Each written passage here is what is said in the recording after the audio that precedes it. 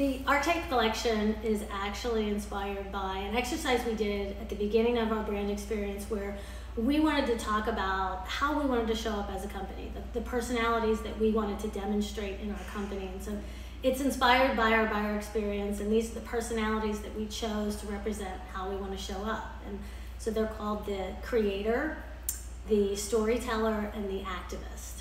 And we identify with these three personality types, and these are personalities that show up in your everyday life people you meet, um, stories you hear about people. We wanted to show up as these three personality types because they're very personal to us. Creators want to make something from scratch, something that's never been done before.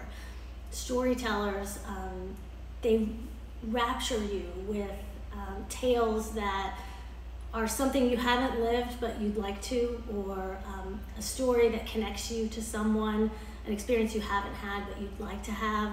Um, storytellers are not afraid to share their truth.